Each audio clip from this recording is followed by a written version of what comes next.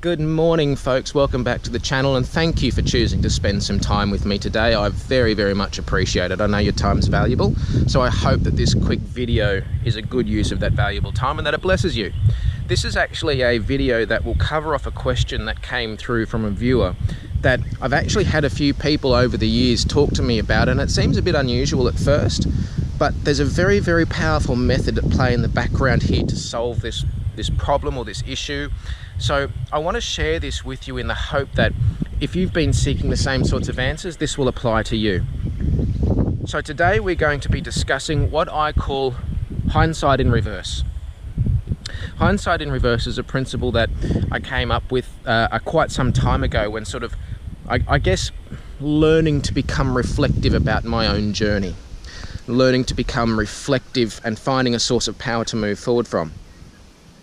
So stick around. We're going to quickly, very quickly understand the power of hindsight in reverse, the danger, but the blessing as well. So stick around. This will be a good one. This is going to help you manifest and understand the process like never before. This will make it crystal clear. So come on, let's go and do it.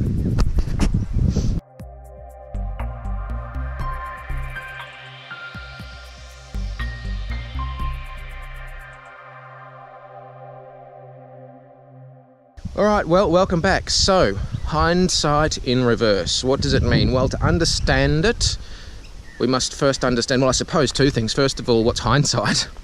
And second of all, what the heck's brought about this conversation anyway? Well, firstly, hindsight is this. Hindsight is simply looking back on a situation or a season or a period of time or a circumstance or an interaction in life and being reflective about it, judging it, and saying, This is what I would change, this is what I wouldn't change, this is what was good, this is what was bad. Using that ability to reflect and look back on a situation to empower us when we're moving forward. That's what hindsight is.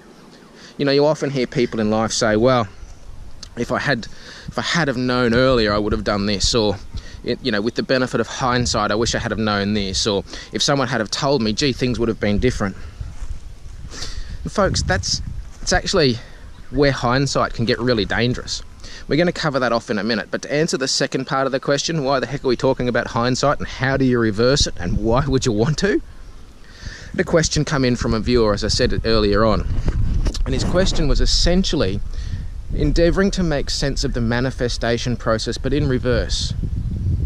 Now, there's been some things in this gentleman's life that he's managed to manifest, and like all of us, I suppose he's sort of fallen over a couple of manifestations. Have you ever had an experience in your life where you know that you've manifested something into your life? You know that whether it's your partner or your promotion that you've just received, whatever it is, there's something in your life that you've manifested, and you know you've manifested. You know that there have been principles of the law of attraction at work here, that you've put out good vibes and energy, and something has come to fruition, but you can't quite figure out what you did.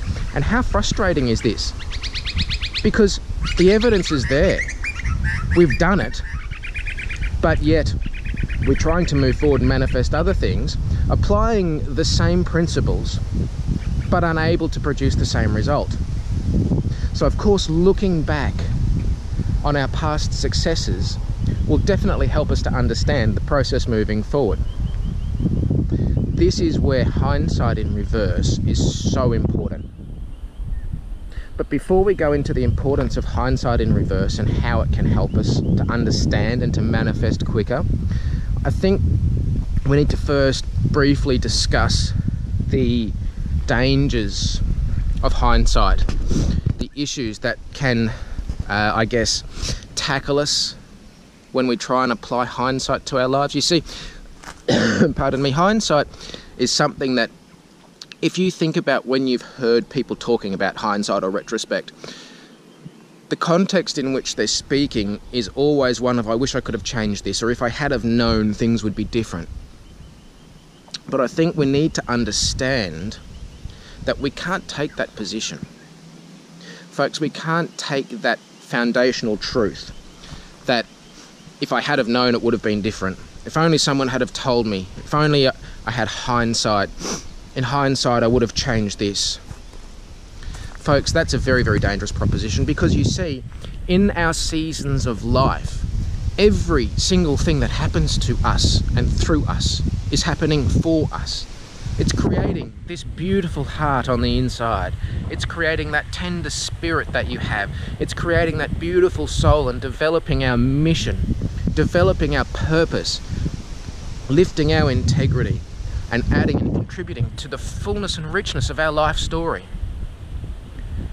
Folks, we cannot look at the backstory of our lives and start cherry picking out pieces that we want to remove that oh if only I had have known I would have changed this.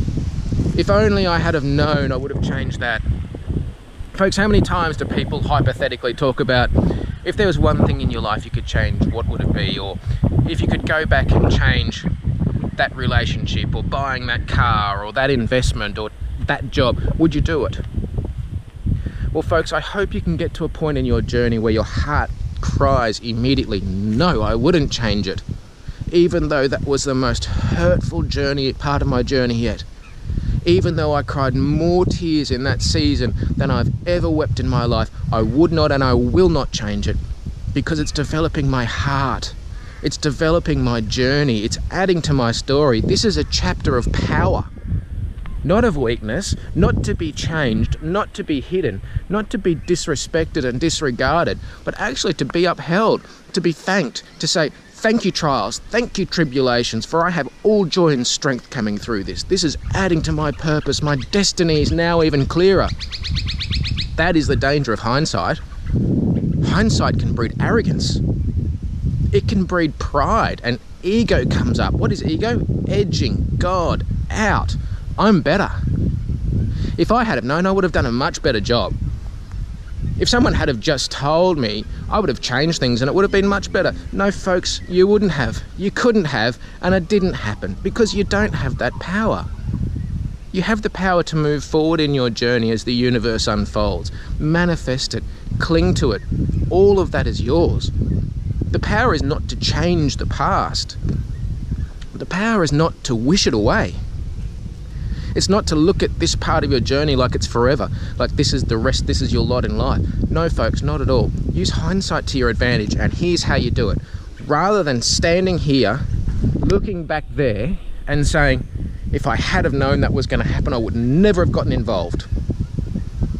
We stand on a precipice and we project forward. We are reversing hindsight. Now, instead of hindsight equating to eyes in the back of our head, Hindsight is a new set of spiritual eyes, the very front of our head. It's almost like opening your third eye, using your intuition. Hindsight begins to show us extremely valuable lessons, touch points of frustration and touch points of success. So when we're trying to understand the successes we've had in the past, the things we've manifested and how we've gotten there, when we're trying to piece together the road to that success so we can apply it moving forward to something new, we just use hindsight. So we stand, and folks, this isn't this isn't a, a, five minute thing. This is a journey, okay? This is a state of mind. This is a way of being, applying hindsight in reverse to all points of your life. So start to become reflective about that situation, that manifestation, that opportunity, whatever it was where you've had success and you're wanting to understand it better to apply that moving forward. Take a position of hindsight in reverse. Stand on the precipice of new opportunity and start looking at how things have worked out for you in the past, how they've panned out. Where did that success come? Start thinking about the state of mind you were in when you were in that season, when that manifestation came into your life. And you will see what you were vibrating. Start thinking about the types of conversations you were having with people, with your loved ones, with your fa- family and friends, and your support network. Start thinking about what you were reading, what you were engaging with in life.